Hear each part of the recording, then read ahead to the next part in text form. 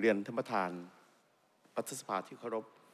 กับผมครูออนกาดกระโทกสมาชิกวุฒิสภา ในฐานะสมาชิกรัฐสภา ผมได้สงวนในมาตรา 5 ทับ1 5ทับ2รวมถึง 5 ทับ3นะครับท่านประธาน เพื่อรองรับในการแก้ไขคำนิยามที่ให้มีสำนักงานคณะกรรมการส่งเสริมการเรียนรู้แห่งชาติ และคำว่า เเลขาธิการ เนื่องจากว่า